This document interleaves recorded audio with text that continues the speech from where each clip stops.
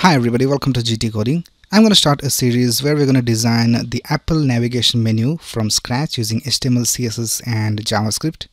So this is the official website of Apple, apple.com and we can see this is the navigation menu of Apple. So we're going to design this navigation menu in this series and we're also going to add the animations. So we can see that when you click on this search icon, we have this animation over here and when we click on this close button, we have this animation. So we can see that we have some animation for each of the menu items as well when we click on the search button. So we'll create all of this uh, in this series.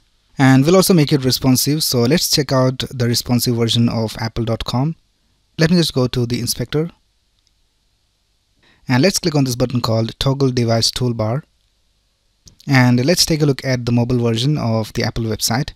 So let's decrease the width and uh, we can see that when we are on the mobile version we have this kind of layout. And we have a menu icon. We have the logo in the middle.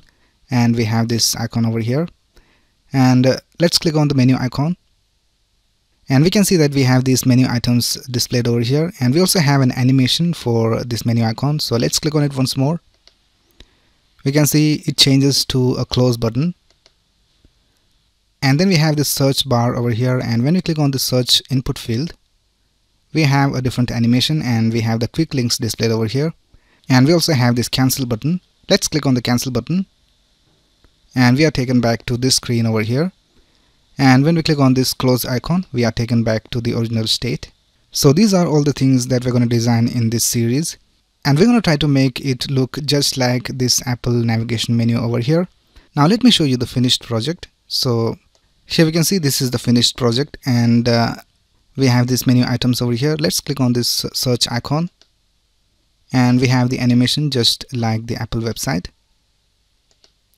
And uh, let's go to the responsive version. So this is the mobile version. Let's open the menu. So let's click on this menu icon. And we have the animation just like the Apple website. And we have the menu items displayed over here. Let's click on this search input field and we have this cancel button over here. So everything looks almost the same as the Apple website. So this was just an introduction video and I just wanted to show you the project. From the next video we will start writing the code and uh, I hope that you will learn a lot of things in this series. So that's it for this video. See you in the next one